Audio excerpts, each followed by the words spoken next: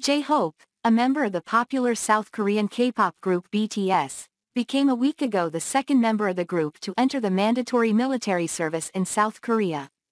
There, he will be serving in the army for about two years, so it has already been possible to get his first photos wearing the military suit.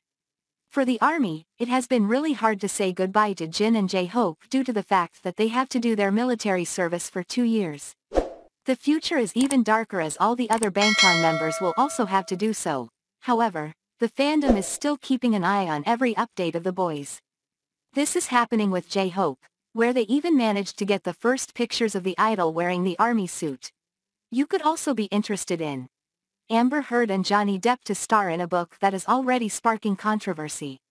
The photos have quickly gone viral on social media, where millions of armies recognize that the rapper looks very handsome wearing the military suit. However, some can't help but feel sad to see the idol in the outfit, as they know he will have to wear it for about two years, completely away from his signature attire. J-Hope will have to serve two years in the South Korean Armed Forces. During that period, he will not be able to be active with his professional career, so he will have to wait until 2025 to be able to resume all his activities within BTS.